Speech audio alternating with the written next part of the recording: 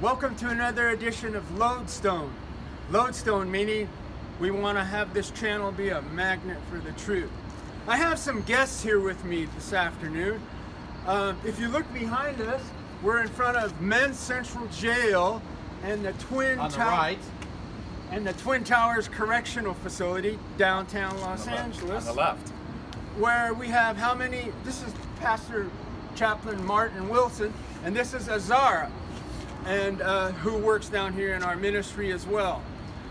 Um, how many inmates are in there? I think Pastor there are Martin? about 18,000 between Men's Central Jail and the Twin Tower Correctional Facilities.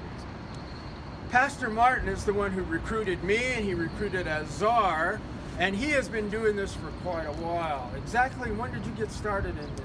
It's Pastor? been, it's hard to believe, but it's been about eight years now.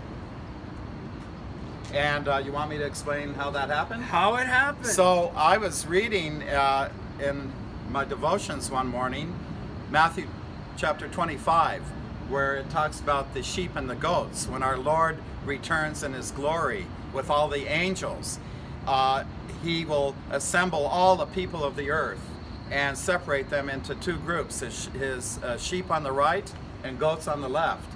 And uh, to the sheep, he'll say, I was hungry and you fed me.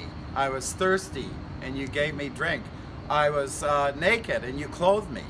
I was uh, in the hospital sick and you came to care for me. Uh, and then the last one it says, I was a stranger, you took me in. Then it says, uh, I was in prison and you came to visit me. When I read that, it just like the Holy Spirit said, you're not doing that. And uh, there might be opportunity for you to do that. Uh, we are kind of involved in the other things. But uh, so I prayed about that after uh, reading uh, the devotional that morning. Said, Lord, if you want us to be involved in this, just make it clear.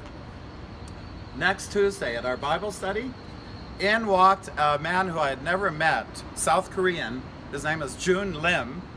And he had come to our church because he was interested to meet uh, ones from a Muslim background who had become Christians. Uh, he was doing research on that. Uh, and it turns out he is a chaplain here at the Twin Towers. Uh, so uh, I said, Well, Jun, do you think I could come in with you? He said, Sure. He got me a one day pass. And I was in the next week leading a Bible study. And uh, it grew from there. Uh, others in the church, including Sister Azad, uh, and then uh, ones uh, in the American Church, Beverly Hills Presbyterian, like David, uh, uh, became interested, and so we've. I've been doing this now for eight years, and God has really been blessing. It's been a wonderful opportunity. we love having Azara in there.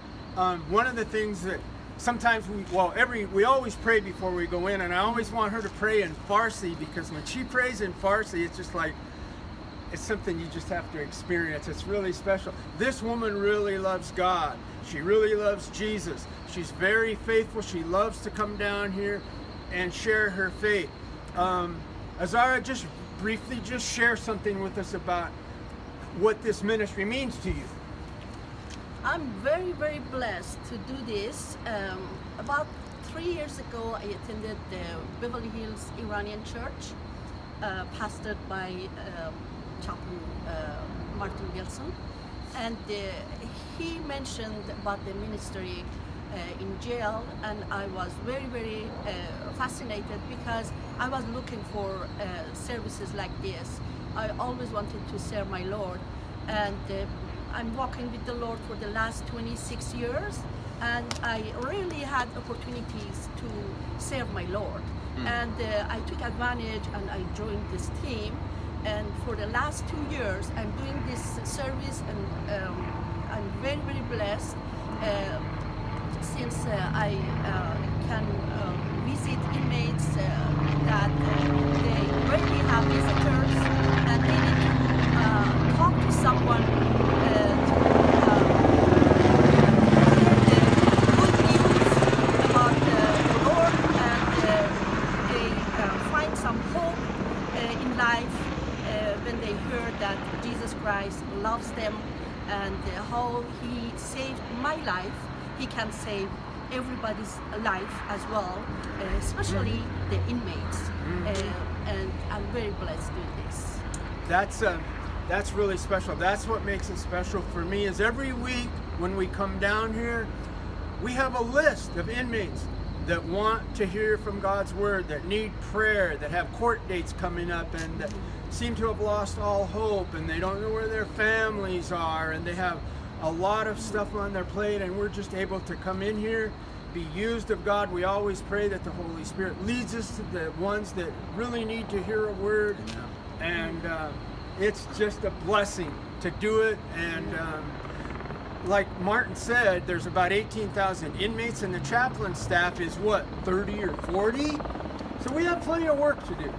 I mean, we just tip the what do they call it? The tip of the iceberg. the iceberg. We barely, barely do it. So, Martin, if you've got anything you'd like to add, otherwise, um, Sure. Uh, about five years ago, I heard uh, that the Muslim inmates, uh, as you probably know, there's a fair number of the inmates that uh, convert to Islam. Uh, and there's various reasons for that. Uh, part of it is they like the outward expression of the spiritual disciplines, like when they pray together up and down. It, it creates an atmosphere of camaraderie uh, and uh, they like that and other aspects that attracts them. So uh, I found out that the Muslim inmates, uh, many times their requests were not being met because as I looked into it, the, the imams can't always make it in as often as they'd like to, and there's various reasons for that. So uh, we prayed about it, and I really felt the Lord saying, uh, go ahead and, and uh, look into visiting them. Uh, and the Lord's just opened the door wonderfully for that opportunity. Uh, in fact, to the point now where they call me Imam Martin. and the Imams are very good at supplying the Qurans, the kufis, which is the black hat they wear, and the prayer mats that have been uh, uh, authorized to be used in the jail. And uh, so we are able to hand those out. And in the process, we always give them a Bible. Uh, their interest in the Bible because the Quran says there's four holy books. You know that, David, right? yes, yes. And uh, one, they say, being the Quran, and the other three are the Torah, the Zabur, and the Injil. Torah is the first five books of the Bible written by Moses. Zabur is the Psalms, and the Injil is the New Testament. So, as a good Muslim, they should also be reading the Bible.